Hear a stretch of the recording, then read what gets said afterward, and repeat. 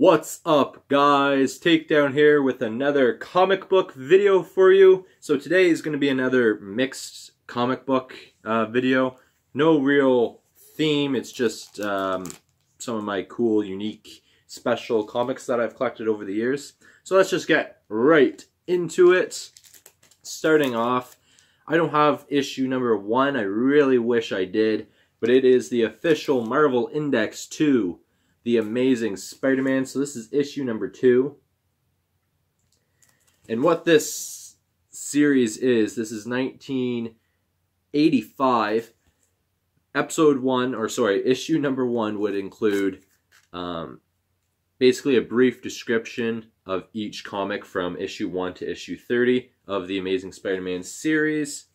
And so it would give you the rundown of what happened in each um, one of these. So it'd be issue 1 to issue 30 and then issue 31 to issue 60. And it was actually really cool. I wish I had issue number 1. That would be iconic. But I don't. So here is, I don't even have issue number 3. So that was issue number 2. Here is issue number 4. Really cool covers, really interesting comics. And issue number 5. And that's all I have for my collection for these ones. So I will be looking for the other ones eventually in due time. Next up, we have issue 292 of Fantastic Four with Adolf Hitler on the front, where they're actually planning on whether or not they should kill him. Really interesting comic. I did share that before, but the quality was hit or miss, so decided to share that again in a video.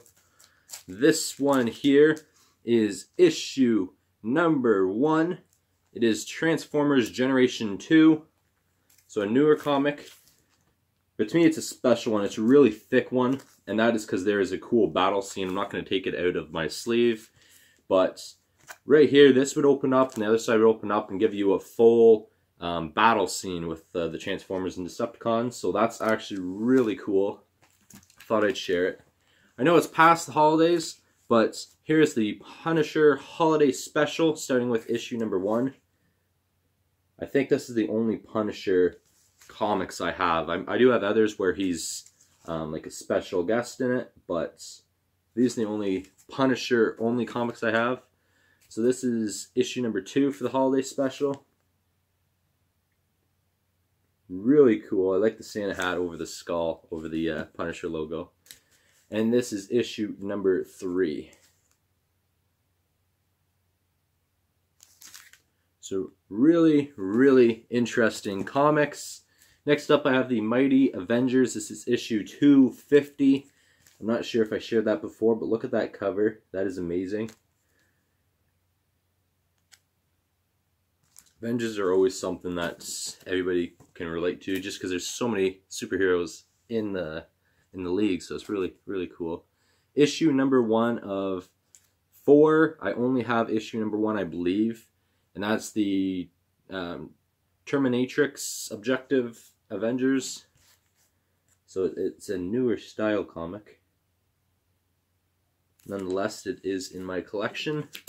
I have a giant sized annual, The Avengers, issue 16, 1987. Really cool battle scene there.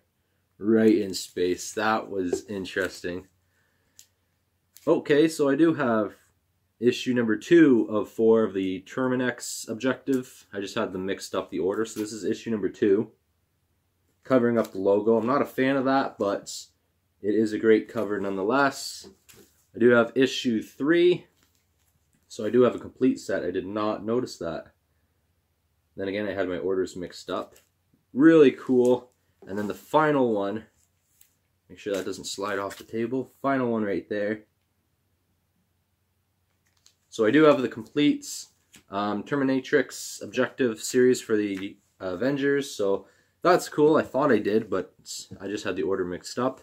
So now it's a comic, a few comic books that are, I don't know the whole backstory of. I really plan on looking it up. I do plan on reading them all. I haven't read them. But they're in my collection because they're all unique in their own way. And I hope to collect more like this in the future if there is more. I'm not sure how many comic books uh, there were of it. Start off, Fantastic Four. And they're all with this border. So it has all Marvel superheroes forming a border. Not sure why. I'm assuming it's for the 25th anniversary. But I'm not really sure. I have to look that up. This is the um, Spectacular Spider-Man. Really cool design. The Amazing Spider-Man. I think I like that one a little bit better. And then we have the Web of Spider-Man, which is issue 20 for Web of Spider-Man. This one, for the Spider-Man, this one seems to be my favorite. It looks the most iconic of a Spider-Man one. I have G.I. Joe with the same border. Luckily, I found this one in my uh, collection, so not overly a huge fan of G.I. Joe, but I do love um, G.I. Joe themselves, if that makes any sense. And last but not least, Captain America Classic. This is issue 323. So I'm not 100% sure what the border is for. I'm assuming it's for the 25th anniversary. Please comment down below. Let me know. Just I'd like to know more knowledge of it. Um, I will be looking up, see if there's any other superheroes that have it. I'm assuming Iron Man, but I didn't have it in my Iron, Man collection. So that would be interesting to know, and maybe I'll collect more in the future.